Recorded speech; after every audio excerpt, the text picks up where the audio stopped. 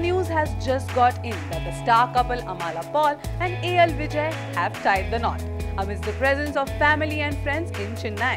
This dusky bride Amala was beautifully dressed in Kanjivaram sari whereas the groom Vijay was spotted wearing white shirt and veshti.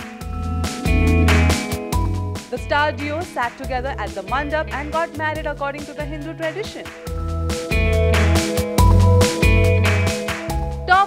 Stars like Ajit, Vijay, Vikram, Anushka Shetty and many more are expected at the wedding.